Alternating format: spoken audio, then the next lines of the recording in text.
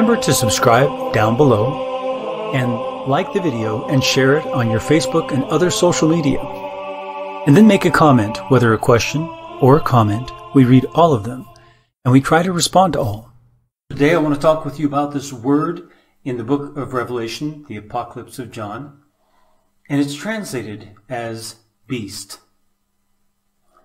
Now I don't often focus on end time topics or the book of Revelation, although I have been drawn to it uh, quite frequently in order to show Jesus' own words to rebuke those who follow heretical teachings in the church. Here is a word that is grossly mistranslated. And I want to draw attention to it because there's all kinds of hype around this word. And it's wrongly translated, which means that this hype is wrong. I'm not saying there shouldn't be hype. I'm saying that the hype is wrong because it's about a mistranslated word into English.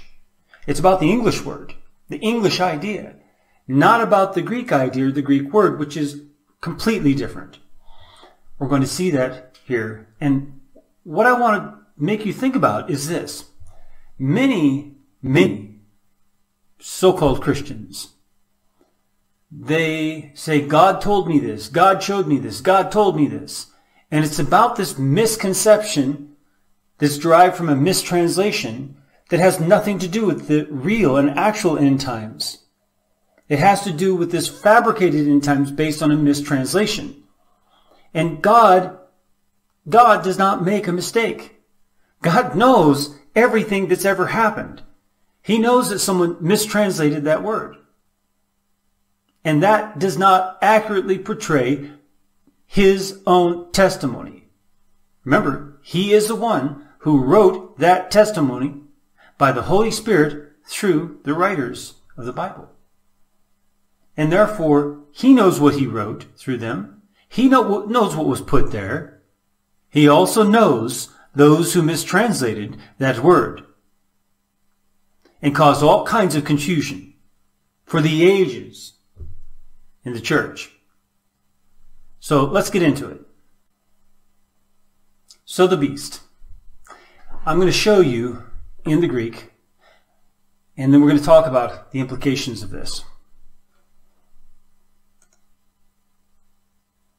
So here what I've done is I've put the King James up here, King James. Under it I've got the Strong's numbers for those words. It's not a word for word, as you can see as people assume. It's not far off from a word for word, but it's not a word for word.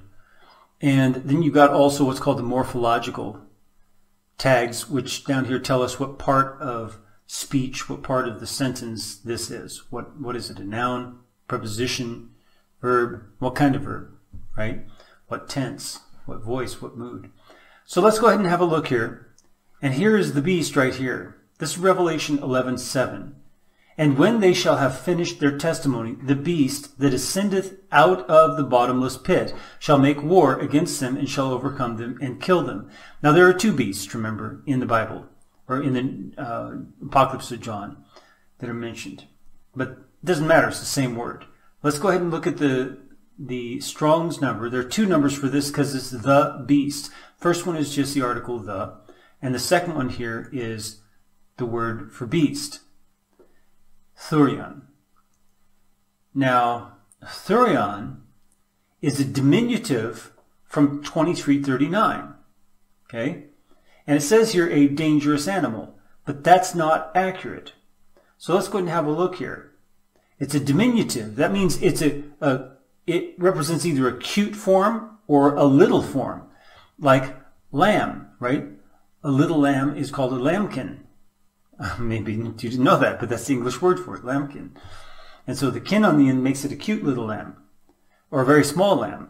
It's a diminutive, meaning making it smaller. So this is the original word that's made into a diminutive. And this word itself, it looks like it means a wild animal as game, but it doesn't. It means hunting. So this word thera a thera comes from ther. Ther means a wild animal as game.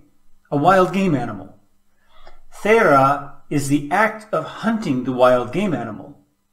And our original word, therion, let me get it back up here, uh, therion, is a diminutive of that. A diminutive of it. A diminutive of hunting a wild game animal. So you may ask yourself, what in the world? How do you get from, from A to B? This is a diminutive from the same as 2339. It says a dangerous animal. If it's a diminutive, it can't simply be a dangerous animal. And if it's from Thera, it is definitely not a dangerous animal. They're reading back into that, a dangerous animal. It is a, an animal for hunting. Absolutely. But it's a diminutive of it. So, it's like a small hunted game animal. The small hunted game animal that ascendeth out of the bottomless pit shall make war against them and shall overcome them and kill them. Now, when we think of the beast, we think of this terrifyingly crafty creature who is really, really scary and is going to eat you and tear you to shreds. It's going to be a very painful death. But this makes it different. It is a game animal. Who's going to be hunting this game animal? Who is it who comes back and destroys the beast? Think back in Sunday school. It was always, always the answer to any question if you didn't know the answer. Jesus. Yeah.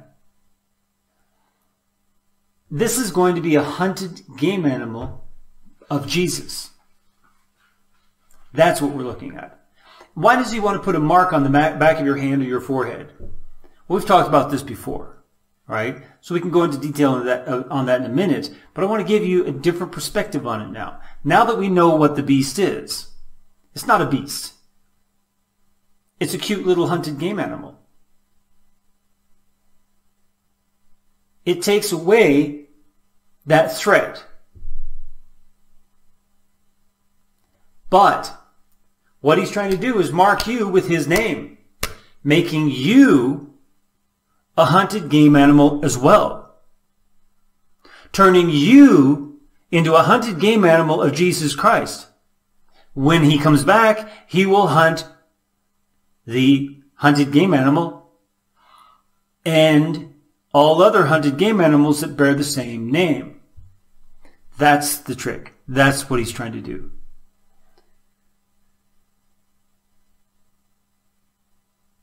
So the question is, how do you stop that from happening?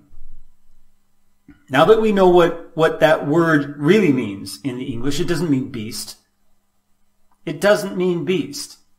It's a diminutive of a hunted game animal.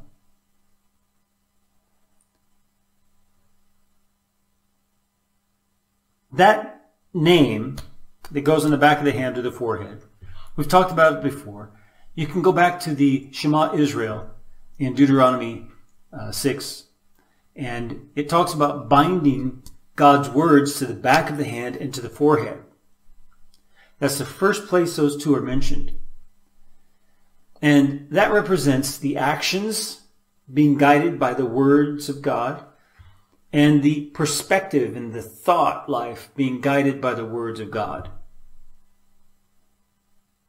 And so when we see that the hunted game animal wants to brand you with his name, he doesn't care whether it's the back of the hand or the forehead. He doesn't care, either one. If he gets one of those, then God's words cannot guide that. And so we are not complete. If he is able to brand your actions so that your actions reflect that you are a hunted game animal of God and not a child of God. He's got you. If he can't get that, but he gets your perspective and your, your thought life, and he brands that as a hunted game animal of God, he's got you. You're not a child of God then. You're a hunted game animal.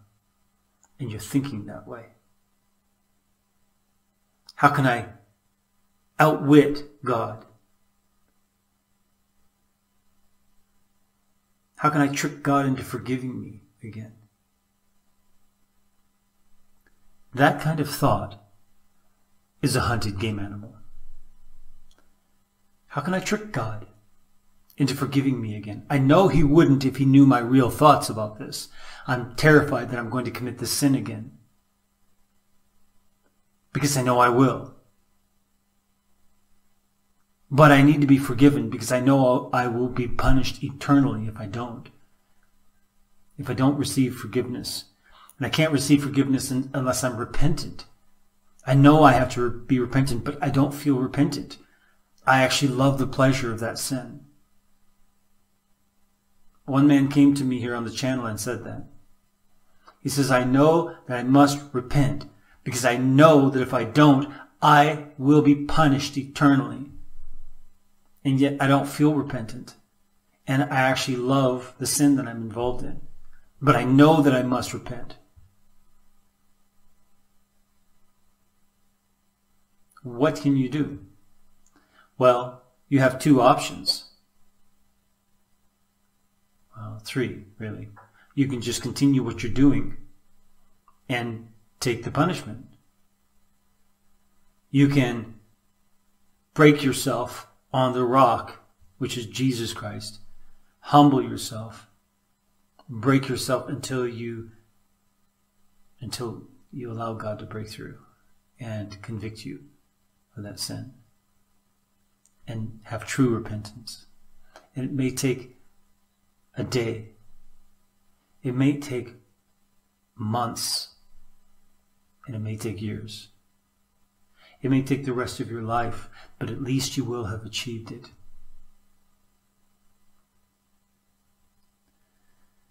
The other alternative is to trick yourself. Try to trick God. Then you're behaving as a hunted game animal trying to outwit the hunter. Because you are hunted, because you're not forgiven. And you refuse to start walking in the light. Therefore, you're still a hunted game animal. You are the beast.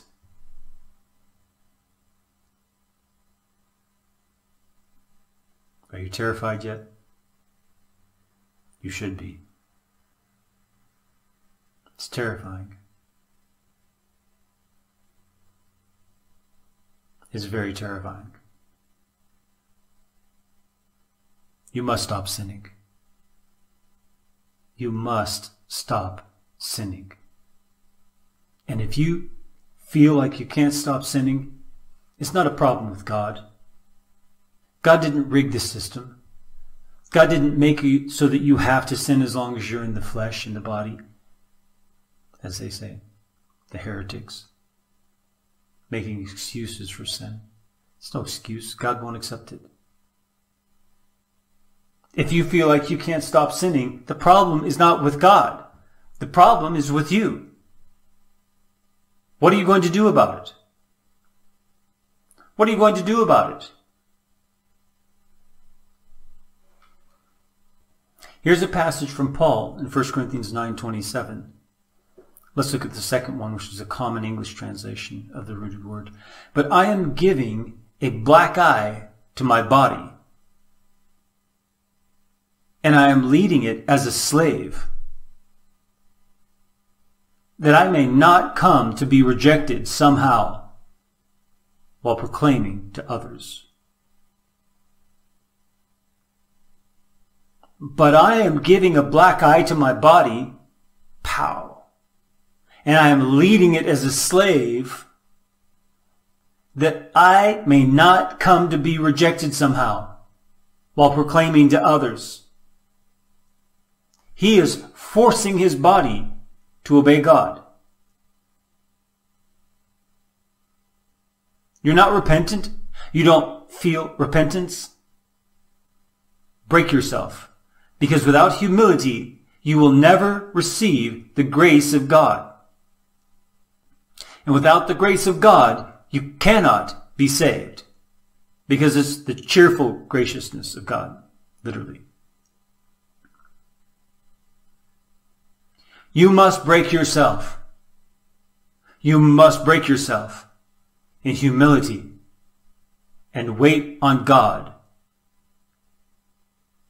to give you the cheerful graciousness. Humble yourselves under God's mighty hand that he may lift you up in due time. The cheerful graciousness that lifts you up.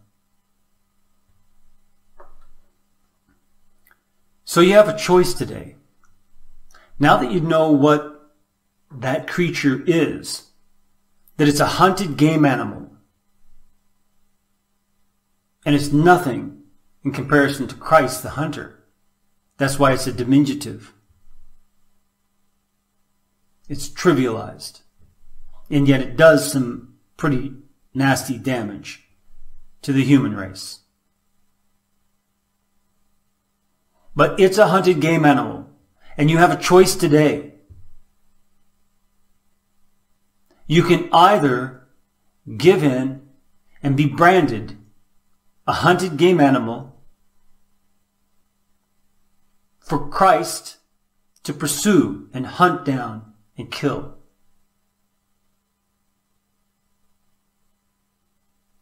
Be thrown into the lake of burning sulfur, the place prepared for the devil and his angels, and the beast and the false prophet, where the smoke of their torment rises forever and ever. That's one choice. Where you think you are your own authority. There is no authority over you. And sometimes that comes in the form of, I have a direct connection with God and God's speaking to me all the time and no one can tell me anything different. These dreamers, these people who vomit visions, they're all over YouTube. They crawled out like cockroaches out of the crevices of the earth. And they're all on YouTube. It's an abomination.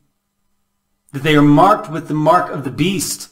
And they don't even know it. They pretend to be Christian. They call themselves Christian. But they're marked with the beast. The hunted game animal. They're marked as a hunted game animal. Because they put themselves above everything else. And sometimes, like I said, they do this clandestinely by saying, Oh, God revealed this to me. And if you try to challenge them on it and say, well, hold on a minute. That doesn't jive with, with scripture.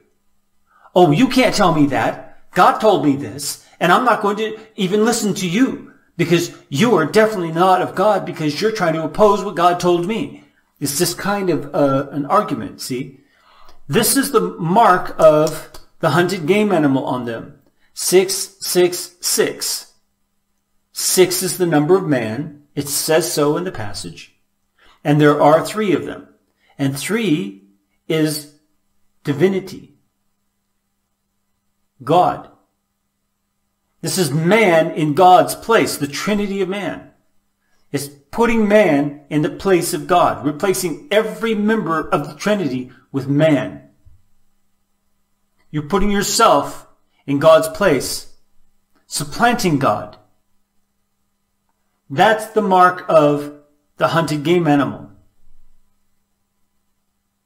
That's what brands you as a hunted game animal. Christ will hunt you down. And at that point, he will show no mercy. Do you want that? Go party, go have fun right now and in the end be hunted down. Not only hunted down, but you will be cast into the burning lake of sulfur. If you go back and read and watch this video where I talked about the apocalypse of Peter and it described the terrifying torment. Why I read the descriptions of, of the terrifying torment that Peter goes into great detail to describe. You say apocalypse of Peter. That's not part of the Bible. It was. It was part of the Bible before the imperial church established what's called the canon. And they mistakenly put out the apocalypse of Peter out of the canon. It was accepted by all the churches. It just fell out of favor to read during the congregational times because it's very graphic. But that didn't mean that they rejected it. They didn't reject it. It was commonly held across all the churches as divinely inspired scripture that Peter wrote. So I'll try to get that video up here, in, uh, up here, and you can go ahead and have a look at it. You can listen to it. It's terrifying. Do you want to be in that position where you have these horrifying torments that you suffer forever? It's irrevocable. It's an irrevocable judgment on you. Or do you want to escape this? Escape the wrath of God? Be the hunter instead of the hunted. Which would you rather be? Would you rather be hunting alongside Christ? Or would you rather be hunted by Christ and the whole host of heaven? I know which side I want to be on. I know which side I am on, and I'm staying on this side. I am going to be one of the hunters alongside Christ. If he calls on me to do that but I will not be the hunted. I will not. Because I follow the Word of God, which is Jesus Christ. I listen to the testimony of God and I obey God. If you love me, you will obey my commandments. Plural. My commandments. Plural. Jesus said. If you love me, you will obey my commandments. If you say you love Christ, but you don't obey his commandments, you're a liar. You don't love him. You love the idea of him. You love qualities that you imagine about him, whether they're true or not. But you do not actually love him if you do not obey his commandments. And I can guarantee you have no part of the Holy Spirit. Because the Holy Spirit is not a spirit of lawlessness. The Holy Spirit is not a spirit of uncleanness. Hence, holy. Terrifyingly clean. That's what the word means, hagios. The Holy Spirit is the terrifyingly clean Spirit of God. And if you are not purifying yourself, if you're not living a holy life, do you have any part to do with the Holy Spirit of God, the terrifyingly clean Spirit of God, if you're not becoming terrifyingly clean yourself? Be holy because I am holy. In other words, be terrifyingly clean because I am terrifyingly clean. Peter's quoting God.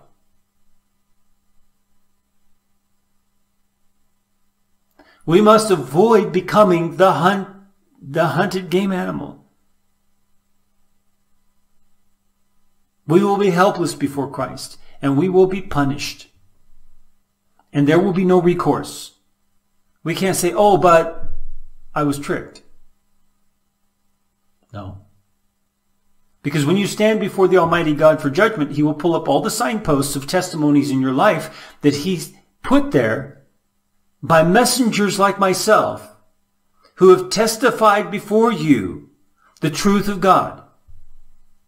I'm planting one right now, right here. You see it? You hear it? This is the testimony of truth from God. And I'm the messenger who's planting it in your life. And when you face the Almighty God, you have to give account for that testimony. If you chose not to obey those testimonies, he will pull those signposts up and, and show them to you and say, these condemn you. But if you listen to those testimonies at any point in your life, but you don't know how long you've got, but you listen to those testimonies and you, and you respond because those are testimonies from God. And you do what's right and you stop sinning and you do what's right. Then when you stand in front of the Almighty God, He will pull those testimonies up and he will show you and say, well done. Well done. Pass to eternal life, you righteous one. Don't you want that to be the words of God to you? Don't you want that to be the words of the Father, of our Lord and Savior, Jesus Christ, to you when you stand before Him in His mighty splendor? In all His glory, you're going to stand before Him trembling and terrified. And He's going to say, Well done. Well done, you who are righteous. Go to eternal life, and I'll see you there. May the Lord bless you as you seek Him with all your heart. Remember to subscribe down below and like the video and share it on your Facebook and other social media.